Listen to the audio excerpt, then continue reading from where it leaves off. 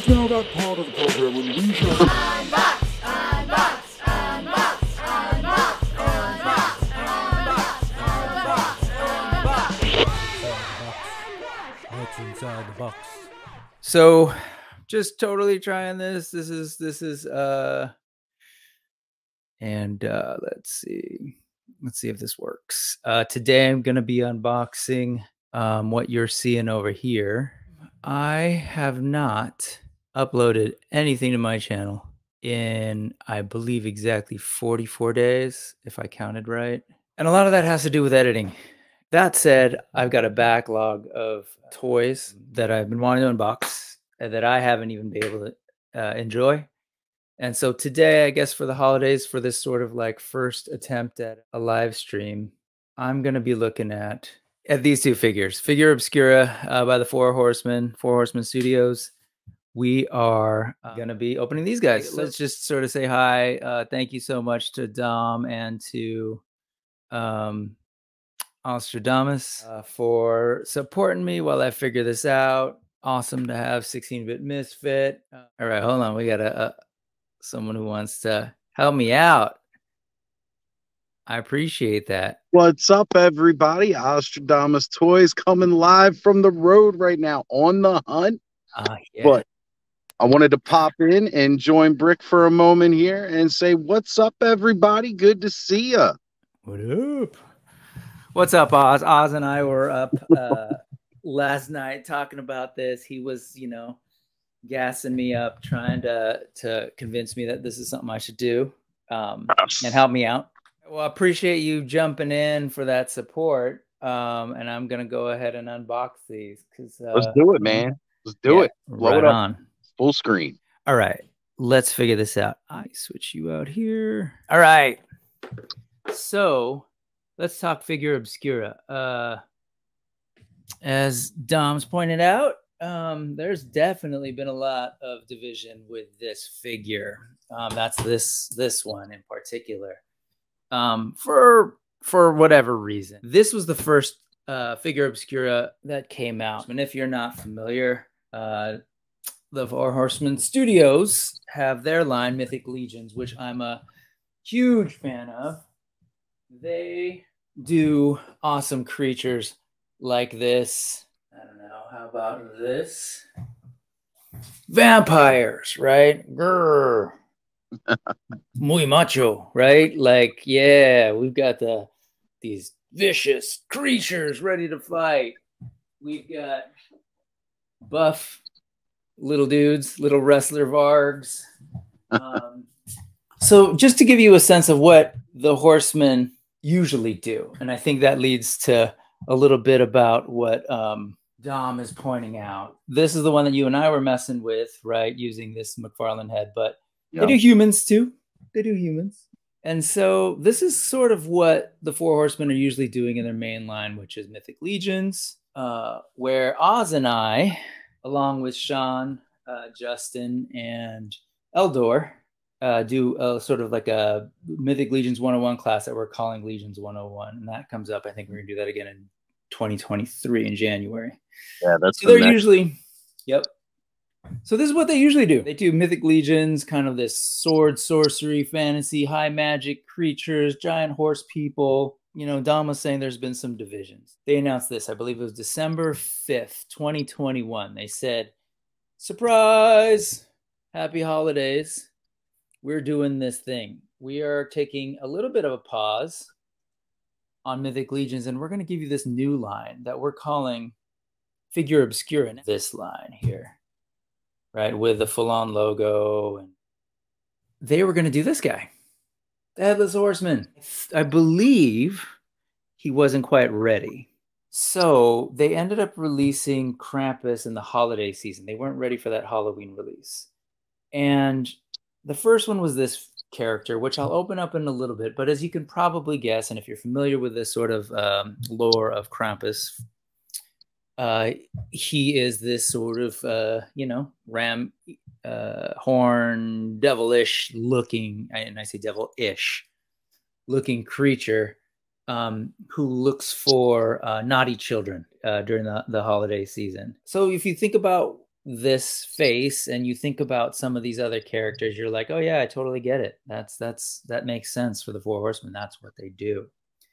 And then they did the headless horseman that they finally released in 2022 a couple months ago. Again, surprise. They didn't warn anyone, they didn't let anyone know this was coming. And you know, people are like, yeah, awesome. You know, headless. Look, head meat, rad. You know, and I get it. and so it was like I think people got in their minds because of what they do with mythic legions, the sword, sorcery, magic, swords, yada yada, and then the beasts that was Krampus, and then the headless horseman that you know, oh, I guess that's what they do. Then they announced Father Christmas.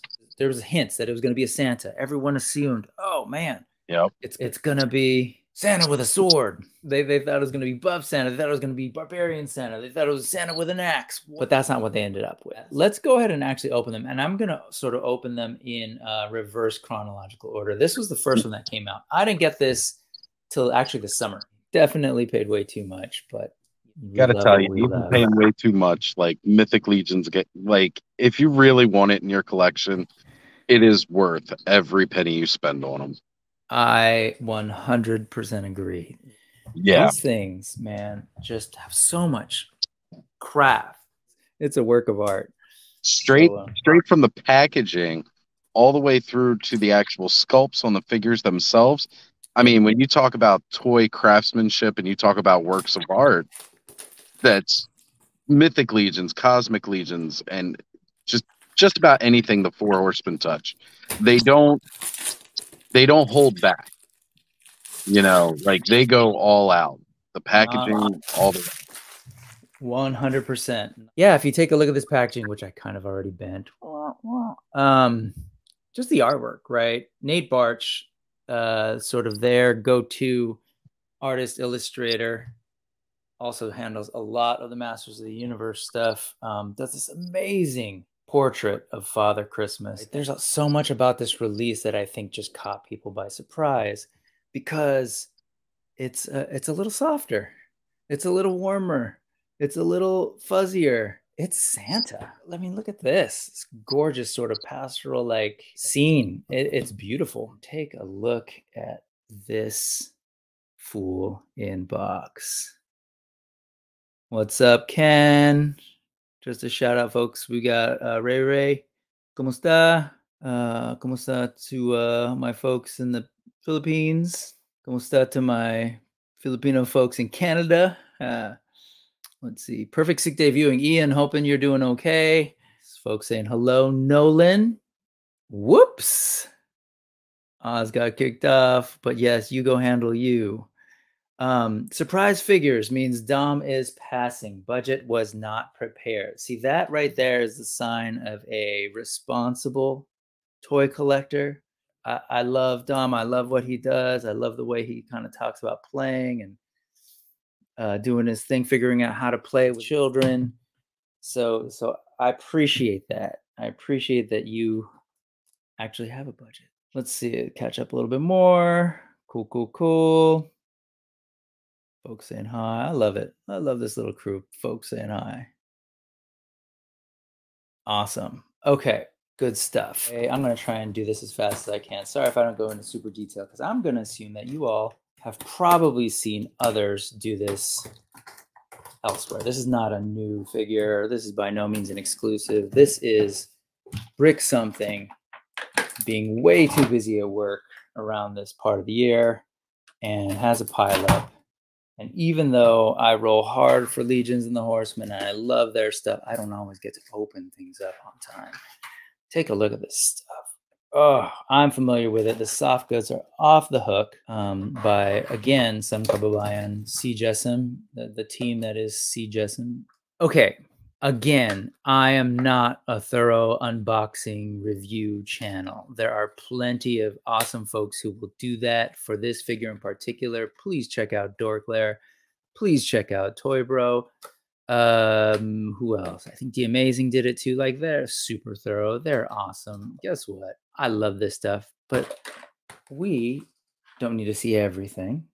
So again, to go back to what Dom was saying, I think there are a lot of folks who who have this uh, something stuck in their minds that four horsemen are going to give them muy macho characters, right? Like all the time, ready, fierce, ready to battle. And that's not a diss. I'm not trying to yuck your yum if you want mm, awesome battles, because guess what? I like that stuff too.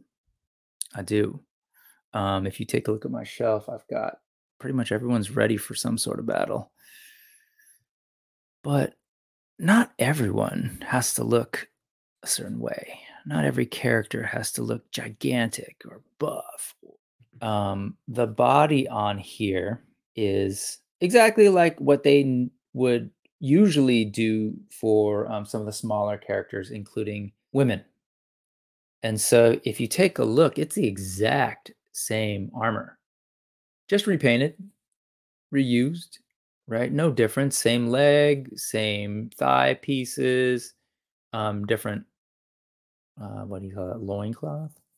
If you take a look at what's going on here, it's the same, but all done in this sort of pretty plain brown, plain dark gray, and gunmetal gray, but covered in this lush, just amazing soft goods. So, as far as a quote unquote controversy or divisiveness of this figure, I don't know what to tell you. I, I love this. It, I just love the variety that that the horsemen continue to give us in terms of toys, man. I I I love variety. I love having different options on my shelf. I love seeing a giant half horse being. I love seeing a tiny squat um, bat creature. I love this sort of like satyr fawn thing. I appreciate that. And the fact that we could, you know, take a step back a little bit and they opted to give us a Santa that was a little bit thinner um, and a little less buffy. I, I I'm here for it. I appreciate this figure. I am loving what I'm seeing. Just like everyone has said, I haven't had this in hand yet, so I'm tripping on this material and how it kind of translates. Part of me was wondering if it would look a little um, cheesy, and uh, but it, it's pretty well tailored for this character. Um, and this fur is just amazing. And there's wire here, right? So if you want to get dynamic, I guess, with the poses. Um, I was wondering again, I was trying to think of like, what is this thing called? That little thing. And I appreciate Ian for breaking it down. This is officially called a flappy do. I believe that's a European term. Um, you know, you gotta, can't go out without your flappy do adjusted properly. All right, standard sort of again legions 2.0 body. All that said, man, uh, I've adjusted his flappy do. Agreed. Fantastic figure. That's Santa. Oh, look at that. Look at that. Man, I said I wouldn't take you through every little thing, but this is just gorgeous. The Four Horsemen. I mean, these, these folks, they're artists. That is the cutest thing ever. And guess what? Mythic Legions need some cute. Figura Obscura does cute. Get used to it. All right. Then you've got this thing. Wow. And so you just let it hang and you can remove it to make that awesome staff as well. Come on now. I don't know. I'm I'm I'm babbling a little bit, but listen, there's not a whole lot to complain about here as far as I'm concerned. There's just a whole lot of joy to be had. They do fill you with all sorts of parts. So if for whatever reason you're like, I don't like the way he looked, well, you know what? Four Horsemen got you. They're like, nah, you're not feeling his beard. You think he needs a trim. There's a different head. And I'm, you know, already thinking about like, oh, what could I do with this head? I've got two. One with a shorter beard, one with a longer beard. Who could this character be? Just amazing. Look at that. Wow, wow, wow, wow, wow, wow. Look at him with his slick back hair. Oh, well coiffed. Well played there, Father Christmas. And uh, oh yeah, actually, Ian says.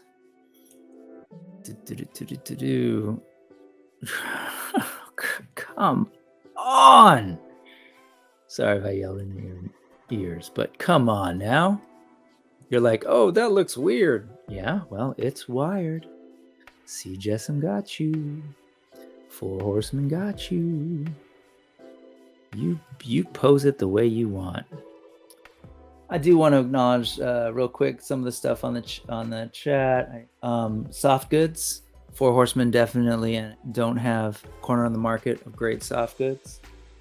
Ian J saying he got the Mezco sod cutter last night. Between Santa and him, that's two amazing soft goods character. That character is amazing. It's like straight up uh, Crypt Keeper meets Walt Disney's Haunted Mansion. Yeah, love it.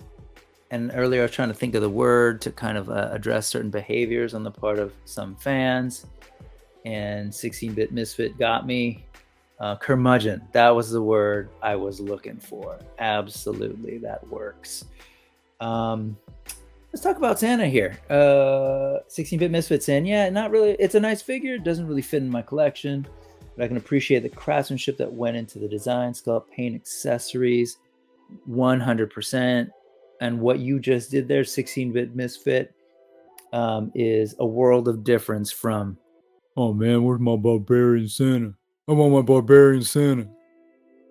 Yeah, what 16-bit Misfit did there is uh, is is thoughtful, is appreciative, is acknowledging the work that went into here while saying, yeah, not for me, 100%, not for everyone. Uh, Daz, thank you so much for jumping on this. I really am super appreciative of everyone on here.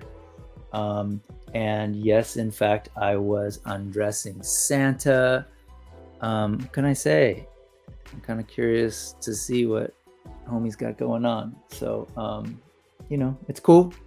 What do we got here? I'm gonna buy a skeleton guy to make a death Santa for sure. Let's let's consider this notion of a death Santa.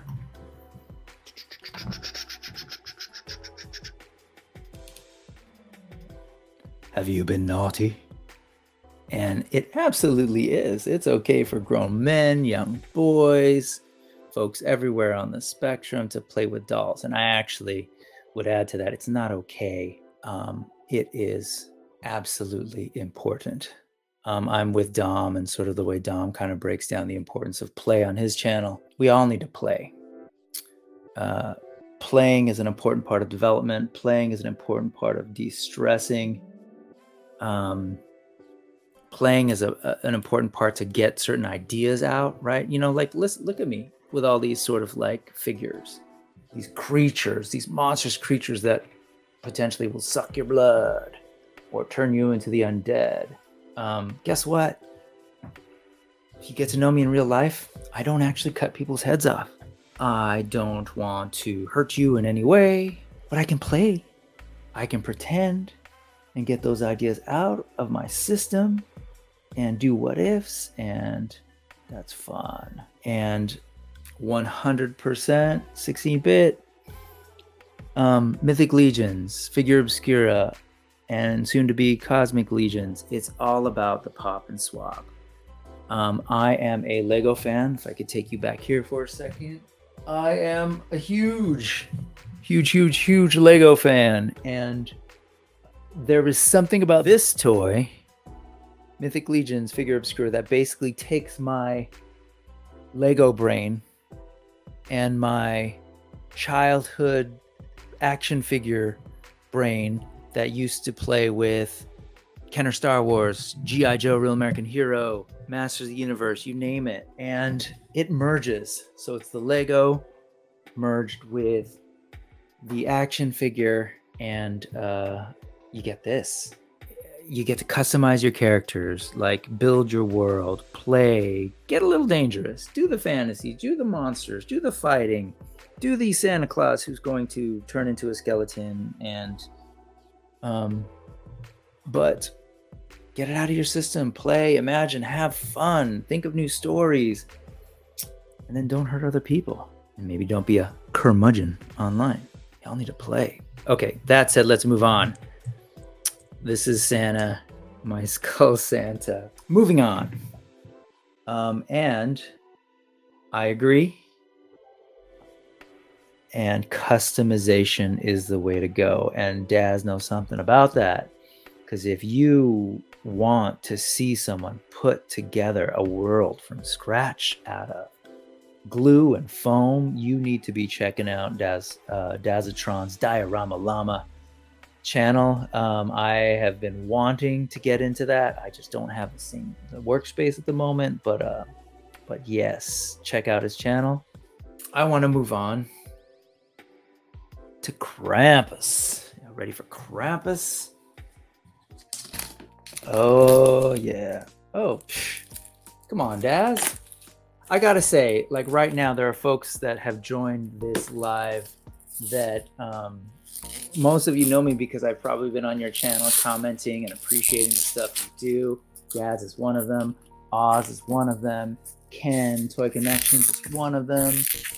Uh, Masterversal Toy Hunter, who just joined us, um, is one of them. These are folks who whose channels I love. Dom, right? Um, Toy Domination, just like those guys' channel, great. And so, absolutely, get the shout out because um, y'all deserve it. And if it wasn't for you, I wouldn't be doing this. Like I, I was inspired, and you know that's for another time. Uh, but I'll just say that if it wasn't for you all and the work that you were doing and the content that you were creating, um, the lockdown that we experienced uh, and the reality that I was uh, sort of living under would have been even rougher than it was. So I I am super grateful to the toy community, to the geek community online that just helped me stay straight, you know, and helped me um, realize the joy.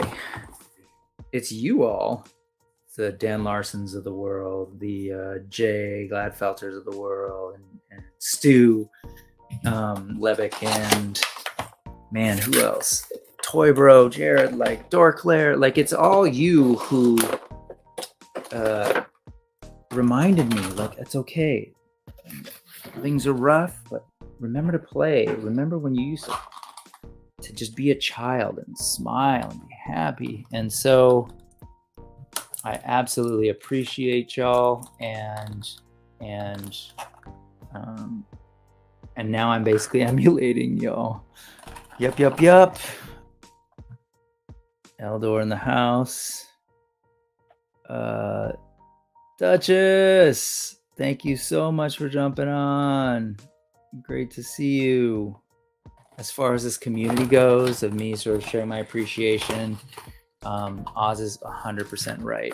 Right here I am thinking about toys, watching these videos, but now we're all playing together. Right? We're all just hanging out and being like, Did you get this figure? What'd you think of this figure? Did you see so and so be curmudgeonly? Uh, can you believe XYZ? How angry are you about the latest HasLab? Whatever it is, right? We're socializing, we're building, we're connecting, we're having a hard time undoing twist tie, but we're doing it together, and it's it's that much more fun. And yes, indeed it is. And believe it or not, I'm still doing them because, oh, ah, oh, ah, oh, ah, oh, oh, oh. sorry. I have seen this figure so many times. And I gotta change the music. Look at that tongue. I will say, missed opportunity. We've got these hands, but we don't have these hands. Okay, sorry. Dork. Um, but again, that's what we do, right? We loosen up, we're playing. Wow. As I was saying earlier, I have seen this figure so many times, and I have never had him in my hand. He's been sitting uh, in different closets in different spaces, actually, since uh, June or July, I want to say. Um, and oh, look at that! It's not even one piece. Of course it would. That's how a lot of their heads work. But but you know he's got this sort of collar piece, this furry collar piece, if you will, and then he's got this head separately so he can fully move, do that thing. But actually, I got to do the Linda Blair.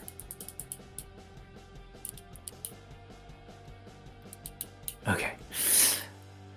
Um, all right. What else? Um, there's an issue here. So this can break, and I've heard this. Will I do it? There's a danger of that breaking out. So I'm not going to do it. Want to show you. I'll do it later when I can warm it up. But look at that. Oh, but if I could do it, look how much more amazing that would be.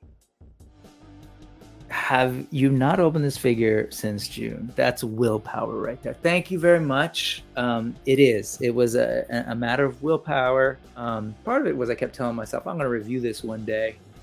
Um, and I'll do an unboxing. And that day has come.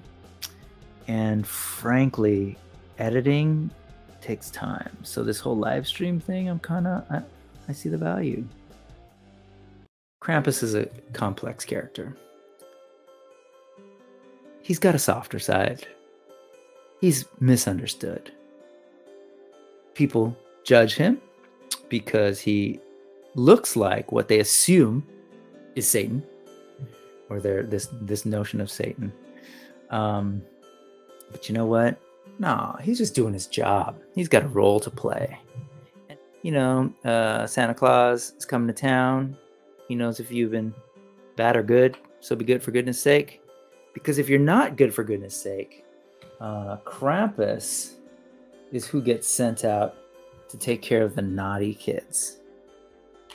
So if you are being curmudgeonly on the cabal, or in social media, or in life in general, uh, you might not get visited by Santa, but instead, Krampus may have to come and take care of you. And so, what does Krampus do? What does Krampus do to the naughty children and peoples? We're about to find out. First off, he's got a broom. I don't know if Ray Ray's still here, but he's got a walis thing, he's got his own walis, his broom. Uh, it's a little rougher. Just it just looks very cool. Uh, Ian said, would be cool to customize the red body with black fringe and black head. Put the Krampus head on the Santa body. Uh, yeah, let's play pop and swap. Um, oh man, that that's just slatanic. Let me just compare another staff wielding goat like creature. This is uh, Krotos from the. Uh, oh my god, I'm blanking. Alithia Wave? Alithia? Yeah, Alithia Wave. Am I buff enough for you now? Uh, there you go. By the way, have you hit that like button today? Have you been naughty or nice? Are you subscribed to Brick Something? Because if not, you might be considered naughty.